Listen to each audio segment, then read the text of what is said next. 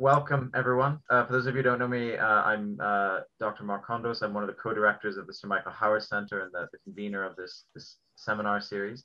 Uh, and I'm very happy to introduce um, this evening our, our speaker, um, Professor David Lambert um, from the University of uh, Warwick. Um, professor Lambert is Professor of Caribbean History at the University of Warwick, um, and his research explores um, histories of slavery and empire in the 18th and 19th centuries, uh, with a particular focus on the Caribbean. Um, he's the author of uh, White Creole Culture, Politics, and Identity During the Age of Abolition, uh, Mastering the Niger, James MacQueen's African Geography and the Struggle Over Atlantic Slavery, uh, and is uh, more recently co-editor of Empire and Mobility in the Long 19th Century. Um, he's currently the principal investigator on a new AHRC funded project that looks at the history of West India regiments from the late 19th to early 20th centuries, um, and uh, as I understand, is in sort of the final stages of uh, preparing a book um, on this, and uh, I believe that's what he's going to be uh, talking to, with us about this evening. So, without further ado, please, David, take it away. Okay, thanks, Mark, and um, thank you uh, um, for those of you who joined us. Okay, so what I'm going to do, I'm just going to um, I'm, I'm going to present a specific element of the book, which is essentially on the kind of um, the changing image, changing status of the West India regiments across the long 19th century. Um, I am going to touch on some of the other things, and if people would like to talk more about some of the earlier histories um, uh, and the West India regiments more broadly, then obviously I'm very happy to do so. Okay, so um, in 1898, the year after Queen Victoria's Diamond Jubilee, the graphic illustrated newspaper published a free four-page supplement entitled Our Colonial Troops, which included um, this color print of a crowd of 89 military figures accompanied by a numbered legend to aid with their identification. The print quotes from the final stanza of a poem by Alfred Lord Tennyson, one with Britain, heart and soul, one life, one flag, one throne. And uh, Tennyson had written this poem um, at the when he was the poet laureate at the request of the Prince of Wales, and he read it at the opening of the Indian and colonial, uh, the colonial and Indian exhibition, which had taken place in London in 1886. And the poem cast the relationship between Britain and its empire in familial terms. And the graphic takes this to uh, underscore its image of a multi-ethnic, cross-cultural martial fraternity. The print also evokes both contemporary practices of the display of racialized types, which of course were very much associated with exhibitions like that in 1886, and also a culture of imperial military spectacle that was particularly intense around Queen Victoria's Diamond Jubilee.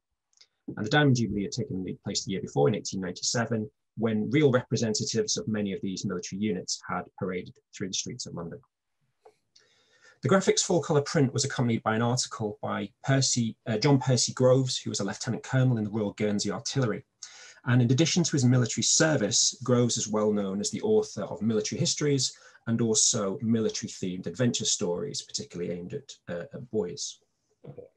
His article, which was entitled Defenders of the Empire, sketched out the composition of Britain's global military forces at the end of the 19th century.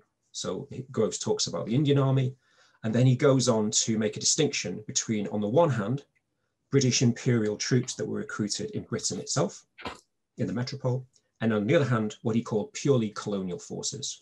And the latter consisted primarily of locally raised permanent units, militia, volunteers, and armed police that provided the defence forces across the self-governing colonies of Canada, Australia, South Africa, and New Zealand. And these had seen the gradual withdrawal of imperial forces since 1870. Most other colonies and dependencies across the empire were still garrisoned by forces sent out from Britain. So in addition, however, to these three categories of Indian, the Indian army, purely colonial forces and British imperial troops, there also existed um, another category that Grove somewhat awkwardly termed imperial colonial corps. And these were imperial units that were not recruited in Britain, but could not be deemed purely colonial forces either. And this is a real kind of mixed bag of units. So along with the uh, West India Regiment, which I'm going to be focusing on, uh, the, there was also the Hong Kong Regiment, uh, which was the only other existing unit of uh, what Groves called local imperial infantry.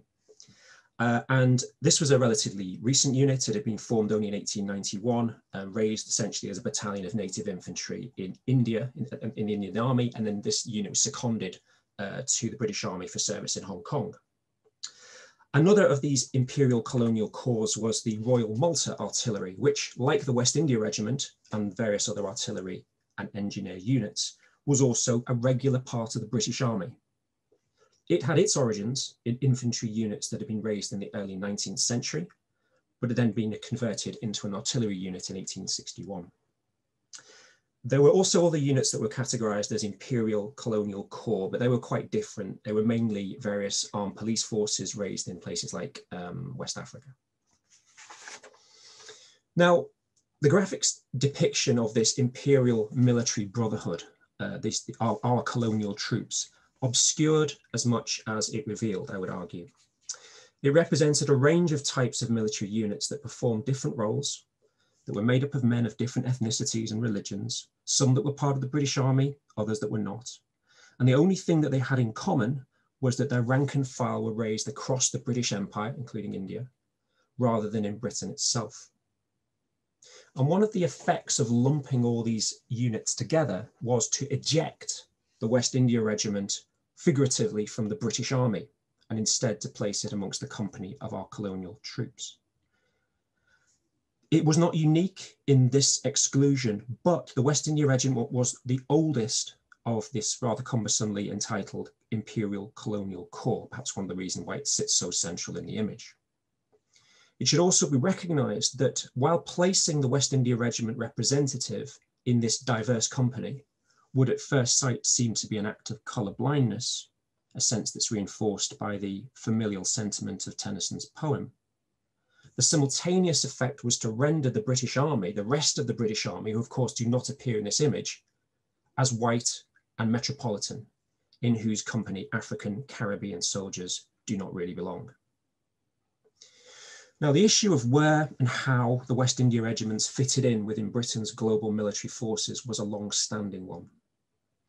In the same year that the graphic published this coloured print, the 3rd Battalion of the West India Regiment was passing through Portsmouth on its way to garrison the island of St. Helena in the South Atlantic. The Navian Illustrated uh, newspaper expressed its regret that the, its visit to Britain was such a short one, and it, it, it expressed its wish that a larger public would have been able to see a complete battalion of this, quote, most picturesque and serviceable corps. Responding to its readers' presumed lack of understanding about the nature of the West India Regiment, the newspaper explained that it was nothing more than an ordinary line infantry regiment, albeit one composed as to rank and file of coloured men. And of course, that its status required such qualification confirms the general public ignorance, despite the efforts of uh, military insiders and more specialist military publications.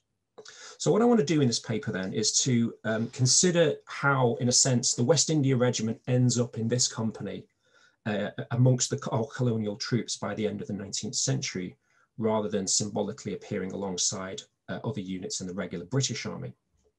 And it does so by examining the contested and the uncertain place of the West India Regiment within overlapping cultures of militarism and popular imperialism that characterized late 19th century Britain. And I'm, I'm, interested in the kind of the way in which the West India Regiment were written about, the way in which they were depicted visually, but also about their physical participation in embodied events in this period. The 1890s represented the period in which the regiment came to the greatest prominence in British culture. So the image on the left is from the Army and Navy Gazette, very famous series of types of the British Army, which many many images of the kind of British Army from this period come from this this series that was published over years. This is the one um, uh, when the, the, the, issue when the West India Regiment are featured. The image on the right is a, a doll of the West India Regiment. Um, so just examples of kind of the way in which uh, the West India Regiment do feature within the kind of material culture and visual culture um, of the late 19th century. Moreover, by virtue, by virtue of the role of the West India Regiment in a series of campaigns in West Africa, uh, they also featured in the in newspapers and the illustrated press. So people were writing about them, people were talking about them, people were depicting them. Small detachments also participated in the Royal Military Tournament in 1896 and in the Diamond Jubilee a year later. But despite the coverage they received, including the well-publicized presence of Sergeant William Gordon, who was the only the second African Caribbean man to win the Victoria Cross. Such prominence did not mean, did not equate with an understanding of their place and history within the British Army. Instead, the West India Regiment was often marginalized, lumped in with native troops on the basis of the ethnicity of their rank and file. In short, even as they were brought home, the men of the West India Regiment were rendered somewhat exotic and strange, their century as part of the British Army occluded. Okay, so what I'm going to do then, I'll, start by briefly explaining, like for those of the people who know nothing about the West India Regiment, there's no reason why people should. I'll give you a little bit about the history. Um, and again, I'm very happy to say more about this if people wish. So um, after Britain went to uh, war with revolutionary France in February uh, 1793, the Caribbean became a very significant theatre of conflict, as it had been throughout much of the 18th century. Initially, things went well for the British. Um, the, their forces captured parts of Saint-Domingue, what's now Haiti, and captured Tobago a year later. Uh, Martinique, St. Lucia, Guadeloupe were all seized in 1794, but the military balance began to shift against the British in, from February 19, 1794 after the National Convention in Paris formally ended colonial slavery in the French colonies. And this left Britain as the primary defenders of slavery in the region. The arrival of Victor Hugues and other Jacobin commissioners stiffened French resistance across the French islands, and their agents sought to promote unrest and resistance amongst French-speaking free, non-white and enslaved populations in places like Dominica and Grenada, as well as amongst the so-called Black Caribs of St. Vincent. Facing conventional and irregular warfare, British forces were driven out of Guadeloupe at the end of 1794 and from St. Lucia the following summer. That same year, 1795, there were also serious revolts in the British colonies of Grenada and St. Vincent, as well as the Trelawny Town Maroons uprising in Jamaica. But it was in France's key colony, the most valuable colony of all, Saint-Domingue, that things really turned most against the British. A small expeditionary force of 2,000 troops had landed uh, there uh, from Jamaica in the autumn of 1793 and occupied key ports.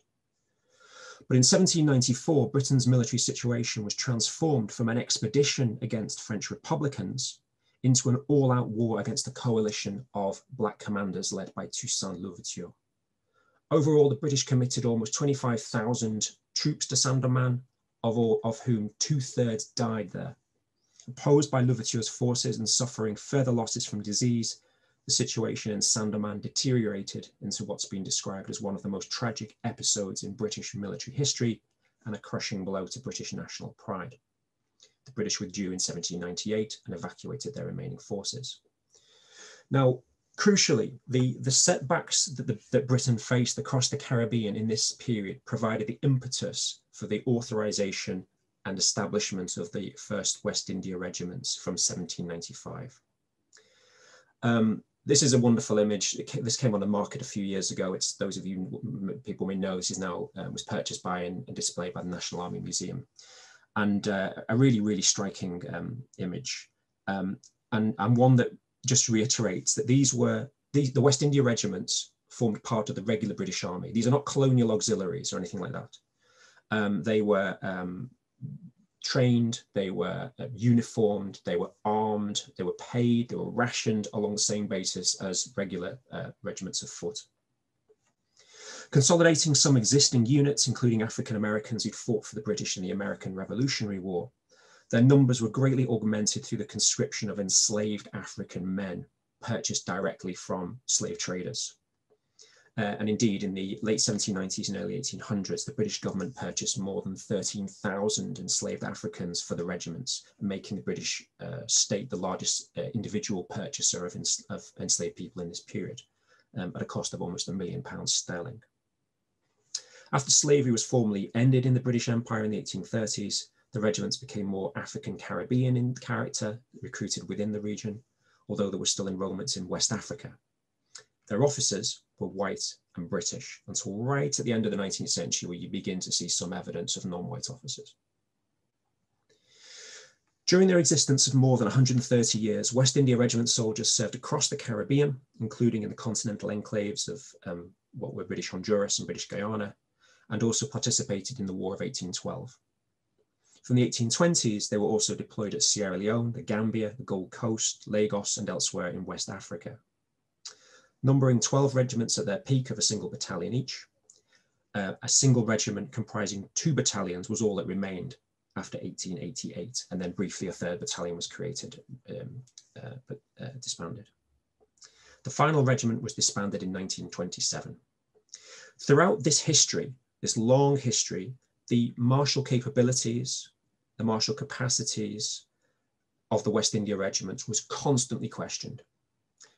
At the most extreme, we see this right at the beginning of their history, when we see um, a serious dispute and conflict between, on the one hand, British military authorities in the region who are desperate for soldiers, and then white West Indian colonists in places like Jamaica, for whom the idea of arming African men is seen as a, not, not a, a military boon, but actually a, an existential threat to the system of racial slavery on which they rely.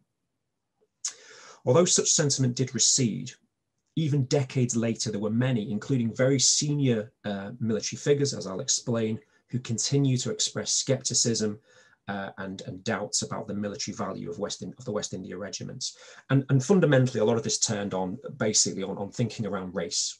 So um, there was there were ideas that um, they were either kind of too cow, cow, uh, childlike and cowardly to be soldiers on the one hand, or else they were too savage and brutish to be soldiers on the other hand. So you know, the kind of certain understandings of kind of um, Africanness within the kind of European imagination in the, in the 19th century.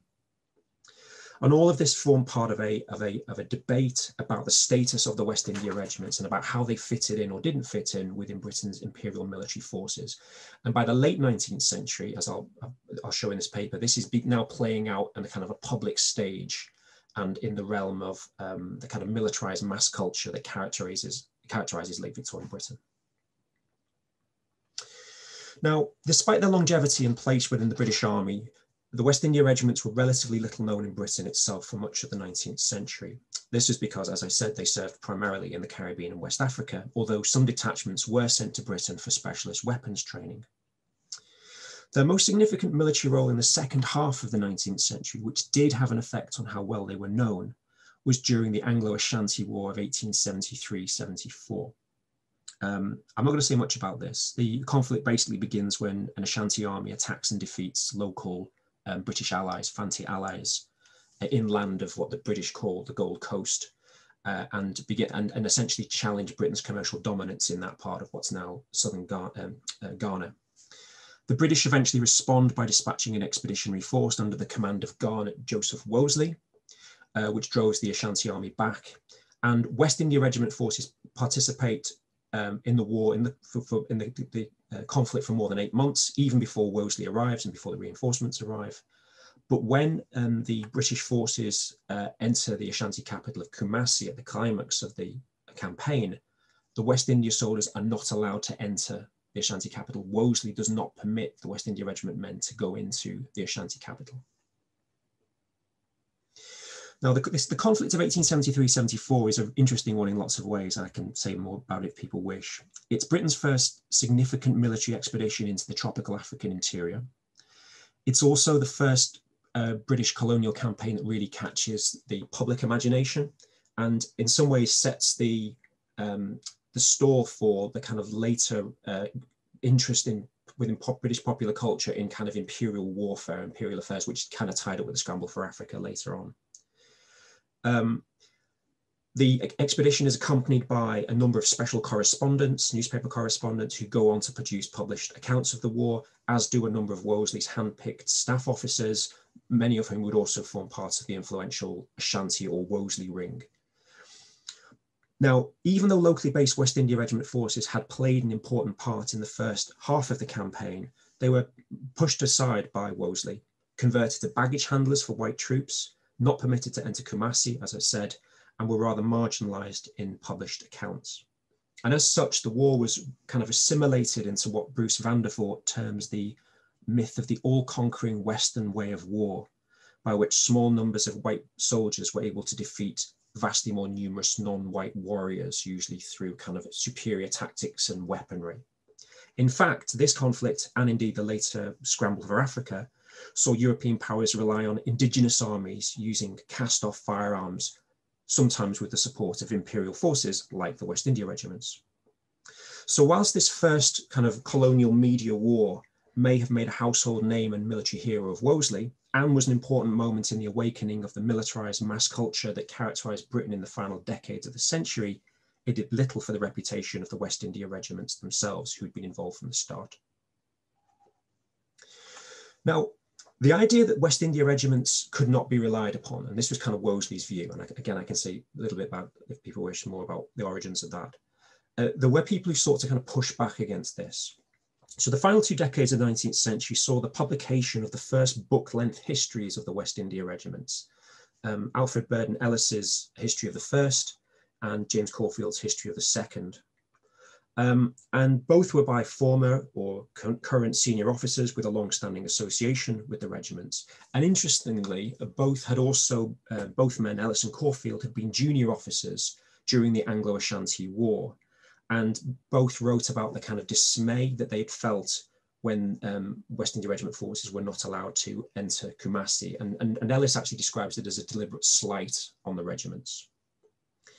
In response, uh, they sought to put the record straight. So Ellis, for example, um, provides a kind of comprehensive historical account of the West India Regiment's operations, including the battle honours they'd received for their actions in the Caribbean and later in West Africa, and he also sketches out the history of some of the other regiments, and essentially he was trying to sort of stress how valuable they were, how important they were.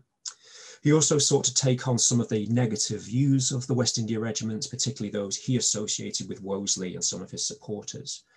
Um, so one of the criticisms of the West India regiments, which Wolseley would, would write about um, in, a, in, in, an article, was about was to do with the kind of relationship between the changing um, demographic makeup of the regiments and how that impacted on their martial capacity.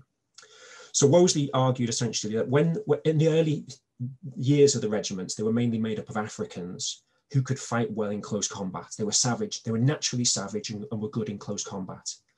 As over time they became more African Caribbean, in other words, they were recruited in Jamaica or Barbados or Antigua, and as, as was understood at the time, they became more civilized um, they lost that kind of natural savagery, but didn't make up for it by becoming better at fighting, at, at firing uh, uh, rifles. So, you know, this was a kind of argument that, that Wolseley made. And um, Ellis sought to try and tackle this very directly. And one, one of the ways he does this is with this is one of the two images that appear in the book. Now, this is a very unremarkable image. It just shows some soldiers standing, um, you know, firing, a, practicing marksmanship.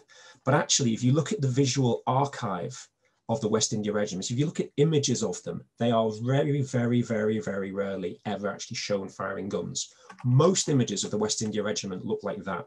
Whatever uniform they're wearing, whatever style of uniform wearing, normally they're just standing around almost as if like, you know, in the middle of a drill or as if they're being kind of um, inspected. So this image and the argument that Ellis builds around it, that they were in fact steady, reliable marksmen, was, uh, was actually striking in how unusual it was. So what we see then here is a kind of a, another instance of um, this kind of debate around the West India regiments regarding their military value and professionalism, which we can trace back to the very origins, as I mentioned before, and something, and it also remained a feature of the coverage of the regiments in the late 19th century. So they're involved in a series of campaigns in West Africa in this period, and um, we see again they kind of they you know they, there's a lot of coverage of them. They their, public profile is raised but we see these kind of two contrasting images of the regiments. So um, we can sort of again i'll contrast them visually. So on the one hand we have an image like this which was produced by um, haldane macfall who was a junior officer in the west one of the west um, in the remaining west india regiments who produced images for the graphic newspaper and this is again an unusual image because it shows the West India regiments firing actually in combat, which is uh, is not the usual case. And it's a very, you know, it's a, it's a, it's a, an image of soldiers fighting. Um, but this is much more typical. This is an image uh, from Henry Charles Seppings Wright, um, who was the special artist for the Illustrated London News, who was also on the in the field with the West India regiments, but wasn't wasn't an officer. He was an outsider. And his images tended to show the West India regiments in kind of either just sort of passively standing around or in these kind of like semi-comical uh, sort of uh, scenes. And you know, uh, we don't think we don't need to scratch the surface too far here to sort of we can think about kind of the the, the kind of racist comic traditions of the period, kind of minstrelsy and ideas about blackface and the figure of the coon and so on. There's it's it's not overt, but there is essentially this isn't these are not professional soldiers. This there's a use um, the image here is of of, of, humor uh, rather than of professionalism, and that contrast between this kind of image and this kind of image, I think, characterizes this this debate, this uncertainty about um, their value and, and, and how the relationship between the kind of inside of you and the outside of you. Now, one of the problems that Ellis identified in his history of the First West India Regiment was that West India regiments were never seen in England, and as a result, the British public knew nothing about them. Now, that's not strictly true. As I mentioned before, African Caribbean soldiers did come um, in small numbers to, to do weapons training. More also, uh, moreover, the, the regimental band performed at the Colonial and Indian Exhibition of 1886, where um, Alfred Lord Tennyson read that poem. Um, and the coverage at the time noted with approval that they were, quote, all Christians and spoke uh, English.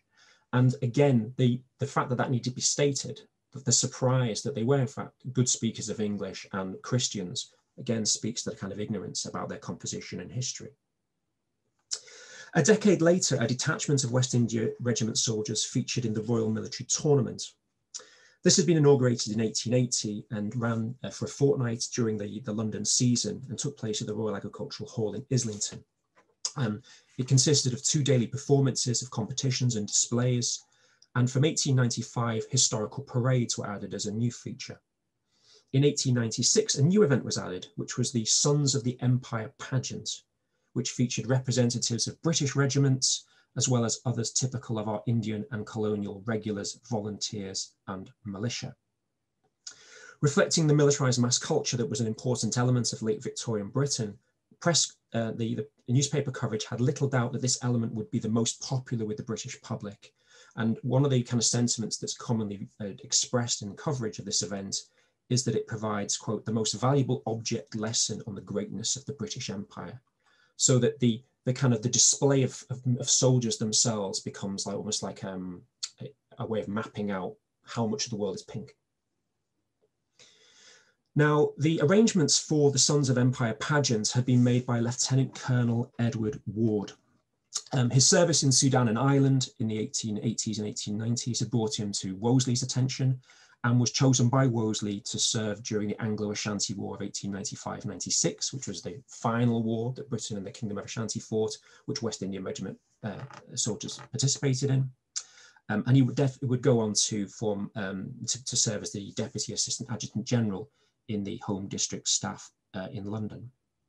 In organising the pageant, he divided it into six sections, symbolising the armed forces of Britain, India, Canada, South Africa, Australia, and finally a collection of other colonies. In turn, each section comprised the four individuals drawn from different units on parade. In the case of the sixth section, this was headed by representatives of the, of the White Volunteer Trinidad Yeomanry Cavalry, and then behind them, um, indicated by this arrow, followed on, on foot, were the West India Regiment, uh, as well as various forces uh, from West Africa, the Jamaican Militia, uh, um, the Hong Kong Regiment and the British Guyana Police. So what we see then here is a, an imperial logic coming to the fore rather than a military one, which served to place non-white elements of the British Army, including the West India Regiment, in the final section of the pageant, which was often referred to as the colonial forces. So they're, they're separated from the, the rest of the British Army at the back. Interestingly, the parading soldiers of the West India Regiment were often singled out, um, and we get this. This is a coverage from the relatively recently founded Daily Mail, um, which turned on um, described the the kind of the, uh, uh, the the swagger of the West India Regiment soldiers and uh, the, the trope of teeth and eyes glistening, of course, is a you know is a, um, a patronising and, and, basically a friendly. It's, a, it's kind of part of a kind of a, a, racist way of thinking about people of African descent, which is common in this period. Um, and this, alongside rather dismissive accounts of their supposedly showy Zouave uniform, which again I can talk about if you wish to discuss that uniform, um, this was a manifestation of the marginalization of the West India Regiment in late Victorian popular culture. And indeed, despite a lot of the, the kind of rather lofty rhetoric around the pageant that it portrayed, it was kind of a symbol of military fraternity. Um, it was actually an imperial and to a lesser extent racial logic that was to the fore. And this went beyond just casting the West India Regiment towards the rear of the procession. Only a few weeks after the military tournament, it was reported that the British Army was considering a plan to bring each West India Regiment battalion to Aldershot for periods of training. The proposal was uh, widely, widely criticised in the British press. It was noted that while it was perfectly normal for white British soldiers to serve alongside non-white British soldiers in the empire, as they'd done most recently during the Anglo-Ashanti War of 1895-96, the idea of stationing large numbers of non-white soldiers in Britain alongside white British soldiers was seen as unprecedented, and it was stated that this would not be popular amongst white British soldiers, and the plan was never enacted. So whether on show or in training, the men of the West India regiments found themselves pushed to the rear, their place as part of the regular British army compromised by the imperial and racial logics that were coming to the fore in this period. A year after participating in the first Sons of the Empire pageant, detachments from both the 1st and 2nd Battalions of West India Regiment travelled to Britain again for an even more significant public event, and this was Queen Victoria's Diamond Jubilee. There'd been little public uh, political enthusiasm for the 1887 Golden Jubilee, but that of a decade later was transformed by the um, Conservative and Union government, and especially by uh, Joseph Chamberlain, who was the colonial secretary, into a true celebration of empire. All 11 prime ministers of Britain's self-governing colonies were invited, uh, along with contingents of soldiers from India uh, uh and the rest of the empire. The visiting premiers were treated like royal foreign dignitaries, and there was a real effort by Chamberlain to impress them with the display of metropolitan wealth and power. And Chamberlain's hope was that this would, um, they, that he would be able to obtain mutually beneficial agreements on commerce and imperial defense. So as such, empire took on center stage at the Diamond Jubilee. And this moment has often been regarded as like the definitive expression of the ideological uh, dimensions of British imperialism. And it was also accompanied by um, what's what historians have described as a, a, a sense of kind of British race sens sentiment or Britannic nationalism, which is at its peak uh, at this period. The Diamond Jubilee itself was celebrated between the 19th and 24th of June with a range of ceremonial festivities, displays, speeches, and official uh, processions in London, as well as across Britain and the rest of the empire. The unimaginative but flamboyant heart, as it's been described, of the event was a six mile procession on the 22nd of June from Buckingham Palace for a Thanksgiving service at St. Paul's Cathedral. Hundreds of thousands of spectators watched as, as some 50,000 people, mainly comprising of troops, as well, of course, as the monarch herself, paraded through London over the course of two and a half hours. The procession was headed by mounted British troops. The colonial escort, as it was described in the official programme, came after the carriages carrying foreign envoys and representatives, and pride of place within this colonial escort was given to the 11 colonial premiers, the focus of Chamberlain's charm offensive, who were accompanied by mounted soldiers from their respective colonies in Canada, Australia, New Zealand, and South Africa. Near the rear of the escort, behind other mounted troops from various colonies, came two bodies of colonial infantry. Now, the whole event was widely covered in the press. There's a lot of kind of um, free supplements for newspapers, collectors' cards, a whole paraphernalia um, that's produced around this moment. And in such coverage, the presence of the colonial infantry often drew comment. The Illustrated London News wrote of a motley array of infantry, terrible and yet beautiful to behold. Sikhs, Chinese from Hong Kong, Malays from Singapore, Dayaks, Sinhalese, Hausas, West India regiments, Negroes from British Guyana, and dusky warriors from Trinidad. In the Daily Mail, G.W. Steevens wrote as follows. Up they came, more and more, new types, new realms at every couple of yards, an anthropological museum, a living gazetteer of the British Empire. With them came their English officers, who they obey and follow like children. And you began to understand as never before what the empire amounts to, not only that we possess all these remote, outlandish places and can bring men from every um, end of the earth to join us in honoring our queen, but also that all these people are working not simply, simply under us, but with us. That we send out a boy here and a boy there, and the boy takes hold of the savages of that part he comes to and teaches them to march and shoot as he tells them, to obey him and believe in him and die for him and the Queen. The sentiments expressed by Steevens are perhaps the clearest window into late Victorian ideas about race and empire, which were at their absolute fore eh, eh, in, the pinnacle of the diamond during the Diamond Jubilee. We see a kind of strict racial hierarchy, albeit one softened by the, the metaphor of family. We see the idea of the military itself as a model for empire and for imperial rule over what Steevens called savages. And we also see the use of that kind of anthropological museum metaphor, such that every color, every constant, every race, every speech was displayed and ordered through the military procession itself. Now, as the Illustrated London News had noted, the West India Regiment was deemed part of this motley array, motley array, even though it was a regular part of the British Army. 12 men and non-commissioned officers representing both battalions, uh, represented both battalions at the Diamond Jubilee, including uh, this man here, Sergeant William Gordon. Uh, they were led by Lieutenant Colonel George Madden, commander of the 1st Battalion. And as well as marching in the main procession on the 22nd of June, the soldiers also participated in a large military review at Aldershot on the 1st of July and joined other colonial troops in visiting Windsor Castle the following day. As with other uh, mainly non-white troops, they were often subject to a kind of um, an ethnographic eye uh, during the Diamond Jubilee. And also we get accounts of how um, um, while they were quartered at Chelsea Barracks, they were the subject of much, uh, the objects of much public interest, like people coming up to sort of see them and, and find out about them. Um, Gordon, uh, who was singled out for being the only coloured soldier in Her Majesty's service who has the Victoria Cross, often featured prominently. And amid the kind of array of military types from across the British Empire present at the Diamond Jubilee, the West India Regiment found itself classified as another colonial unit. And again, you see often this kind of material, this kind of almost like semi-anthropological kind of categorization of uh, the soldiers, the West India Regiment and other um, non-white uh, forces especially. Um, now, this is not to say that military distinctions went unacknowledged. So, for example, the Illustrated London News sought to ensure that the, quote, excellent Negro troops of the West India Regiment would not be confused with merely local bodies of armed police from Trinidad and Guyana. And of course, the fact that they had to clarify that was, as I've mentioned a few times before, itself uh, a manifestation of contemporary public understanding, a misunderstanding rather. But in the procession on the 22nd of June, as with during the Sons of the Empire pageant, which can be seen as a kind of trial run, um, the West India Regiment was placed among the motley array of colonial infantry rather than with the rest of the British Army. And this was also echoed in contemporary accounts.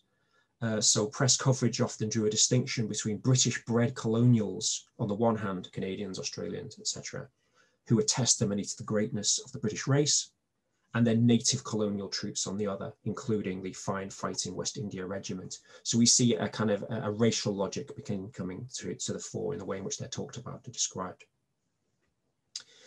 Such racialized logics and the kind of um, sensitivities that could accompany them were also evident elsewhere during the Diamond Jubilee. At the Aldershot Review on the 1st of July, the West India Regiment soldiers again paraded alongside other representatives of colonial units separate from the British, um, from British metropolitan units. However, perhaps because of the military setting, they were given pride of place at the front of the colonial infantry forces, and in so doing, they marched ahead of white colonial soldiers, including those of the West Australia 1st Infantry Volunteers. And the press reported the unhappiness at this sequencing and describing this as a national slight which ignored Australian sensitivities around race. It was claimed that this insult was also fed more, felt more widely amongst other uh, white units who were parading behind the West India Regiment. Whether such reports reflected a genuine sense of grievance or not, they certainly articulated the view held by some that the West India Regiment's personnel should be kept in their place within the racial imperial hierarchy. Let me draw some conclusions. The West Australia 1st Infantry Volunteers, who were so supposedly so incensed because they'd had to march behind the West India Regiment soldiers, also featured in the graphics print of our colonial troops with which I started. Published the year after the Diamond Jubilee, a striking feature of the image is the conspicuous presence of this West India soldier who stands in the crowd, uh, at the middle of the crowd. The white of the shirt and the yellow gold trim on the jacket serves to make the figure stand out from the scarlets and dark blues that characterize most of the other infantry, something enhanced, of course, by the zouave uniform and headwear, whilst cavalry and other troops at the rear are a rather less distinct presence. The result is to make the West India Regiment a rather unique figure in this scene, something that's reinforced by his immediate setting. To the man's immediate rear stand men from the Hong Kong European Police, the Sierra Leone Frontier Force, and the Royal Malta Engineers, uh, engineers, their dark blue uniforms serving to accentuate his. While two Canadian soldiers from the Governor General's Foot Guards and the Toronto Royal Grenadiers flank him on either side, their similar attire serving as a kind of frame. Meanwhile, a corporal from the Trinidad Light Infantry sits at his feet. The central and prominent place of the West India Regiment's soldier may have been no more than an artistic choice, given the unusual nature of the Zouave uniform, although there are other Zouave uniforms in this image and those people are, are right at the edges. But actually, you, you, if you look at similar prints to this, West India regiments often are in the middle, which is kind of interesting. I think it also serves to illustrate how the West India Regiment was a kind of prominent feature in late Victorian practices of military display and pageantry, and often served as kind of focal point for questions, for discussions about race, empire, and military service. Indeed, I argue the coverage of the West India regiments up to and beyond the 1897 Diamond Jubilee turned on this kind of uncertainty about their place in the British Empire and its global military forces. This was there from the very beginning when there were intense disputes about their creation and service. But this sense was reinforced in 1897 by the kind of sheer weight, ideological weight the Diamond Jubilee carried.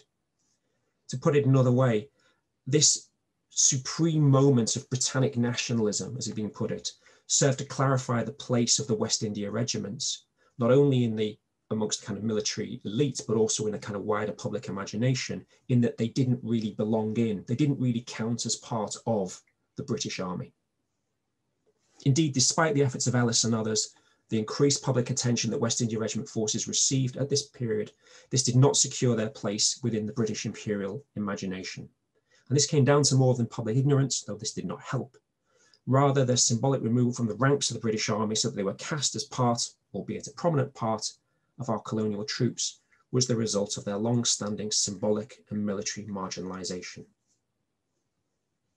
Almost 30 years after the Diamond Jubilee, 20,000 people watched the final trooping of the colour by the West India Regiment at Up Park Camp in Jamaica in a ceremony that was described as impressive and full of pathos. The regiment was being disbanded. Lieutenant Colonel W. Miller, its most recent commander, requested that the regimental colours be presented to George V and deposited at Windsor Castle. The War Office agreed, but it refused to pay the return, uh, the, the, the travel fares of any soldiers returning from Britain to the Caribbean. In consequence, no African Caribbean personnel could accompany the colours, which were instead taken by seven white British officers and warrant officers who were returning home most went straight on leave, leaving Miller with little time to put together a reasonably sized party of men who had only very, some quite loose connections to the West India Regiment to attend the palace. The presentational party was received at Buckingham Palace with no ceremony, other than brief thanks from George V, who acknowledged a fine record of gallantry under the most arduous conditions. And the scene was poignant, not for what occurred at Buckingham Palace, the whole thing took less than 20 minutes, but for how little ceremony there was, and also because, of course, who was not there. Of the men who made up the regiment and whose predecessors had been responsible for Dominica, Guadeloupe, Sierra Leone, etc., and indeed of the splendid uniform that they'd been wearing since 1858, there was no sign. And I think that's an appropriate place to leave this discussion of what it means when the West India Regiment went home. Thank you. Thank you very much uh, for that, David. Uh, I'm just going to stop the recording now, everyone, and we can take uh, some questions from the audience.